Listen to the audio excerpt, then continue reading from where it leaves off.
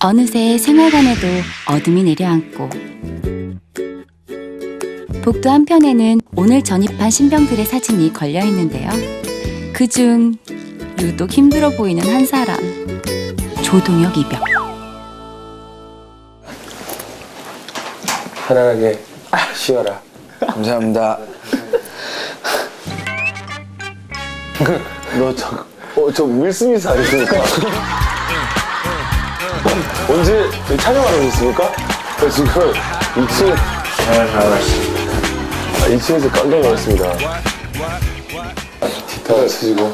하이탑 너는 여기 있는 사람들이 다 선임이야. 예. 조동혁 이병 빼고는 둘은 동기고 예. 서로 반말을 해야 되는 사이야. 예, 알겠습니다. 제가 보여줄 개훈아 개훈아 이런 거 이런 거. 머리야.